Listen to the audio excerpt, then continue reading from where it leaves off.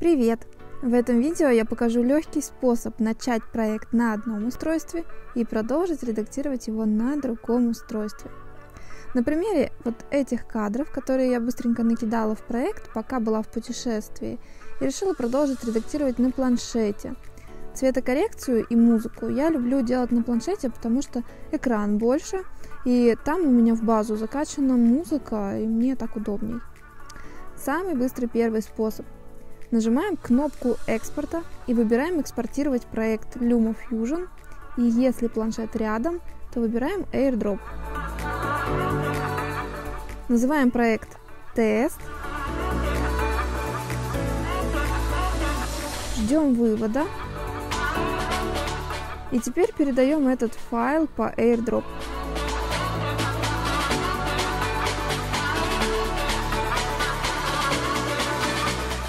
Вот и готово.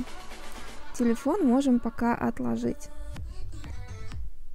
А тут проверяем, что у нас получилось. Вот наши кадры, которых до этого на планшете не было. Теперь давайте попробуем с планшета передать на телефон. Это второй способ, и мы здесь будем работать немножко по-другому. Первым делом удалим проект с телефона. Готово. У нас остался только альбом с файлами в фотографиях, но это совершенно другое, а сам проект удален. Открываем проект на планшете, заходим в него, нажимаем ту же самую кнопку экспорта и также делаем экспорт именно проекта LumaFusion, а не сам ролик, чтобы на телефоне мы могли потом продолжить монтировать. Выбираем проект LumaFusion и выбираем место, куда попадет наш файл.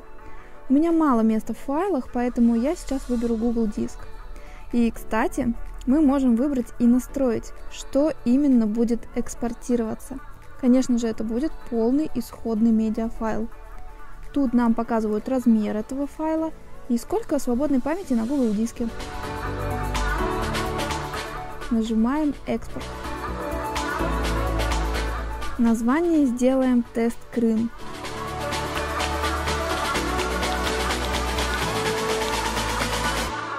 И я выбираю путь файла мой диск и ну, создадим новую подпапку, чтобы побыстрее его найти потом на диске.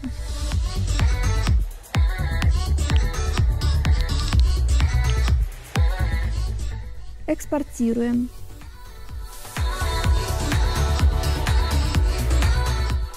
Сначала мы видим загрузку проекта.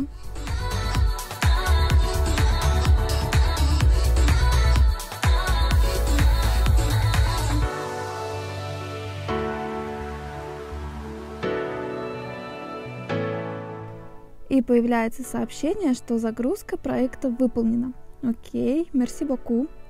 Давайте проверим, есть ли там файл. Заходим на Google Диск. Вот.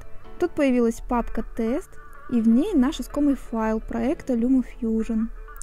Этот способ будет работать при быстром интернете, конечно же.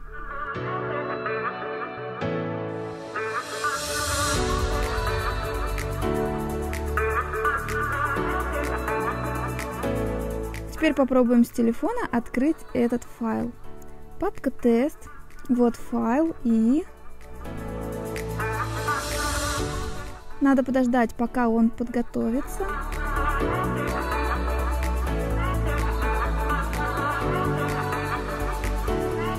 И в предложенных программах нет нужного приложения, но мы его найдем вот тут.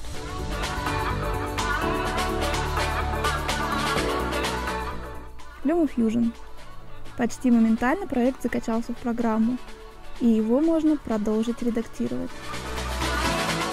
Я вам показала два способа, как проект можно перенести с устройства на устройство. Пользуйтесь! А также смотрите другие видео, в которых я рассказываю, как работать в LumaFusion. Пока-пока!